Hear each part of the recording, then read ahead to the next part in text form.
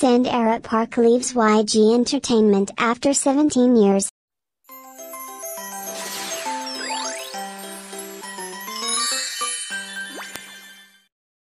She is no longer signed with YG. Sandara Park has left YG Entertainment after spending 17 years with the company.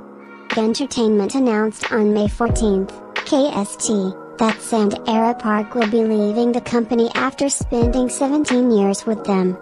We are writing this to inform you that our exclusive contract with Sandara Park has expired. We would like to sincerely thank Sandara Park, who has been with us for 17 years, for her faith and trust in us during that time. YG will always support her endeavors and will continue to help her as she prepares for her new start.